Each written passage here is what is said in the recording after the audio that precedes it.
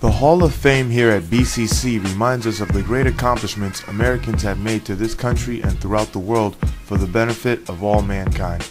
You get the chance to see great Americans from all facets of life and from all areas of interest. As I walk through the Hall of Fame for great Americans, I am humbled and feel intimidated by their presence, but I also feel a great sense of pride and motivation from them as well. Reflecting on my own life has shown me how similar we are to them. In May 2005, I received an associate's degree from Bronx Community College and then transferred to Brooklyn College, where I finally graduated with a bachelor's degree February 2000.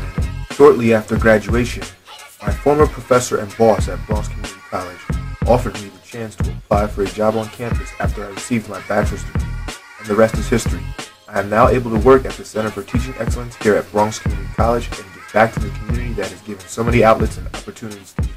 Our slogan is learning about learning, and the Hall of Fame carries a vast amount of wisdom to learn from.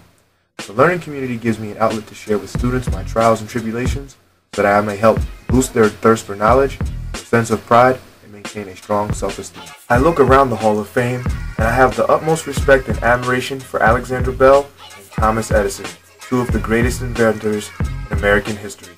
Alexander Bell invented the telephone and early prototypes of sound recording with a magnetic field.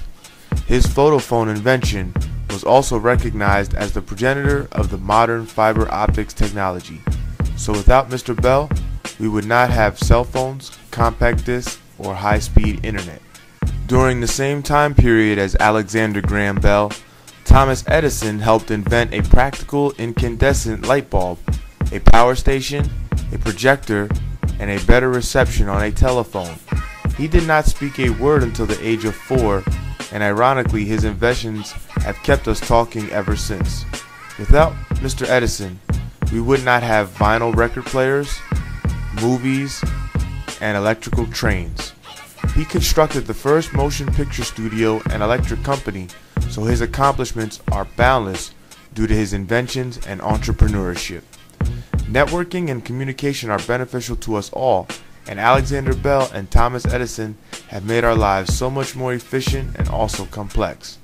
Their tools of communication are now my instruments of success. Both of these men had trials and tribulations, but also had great teams of inventors and supportive families.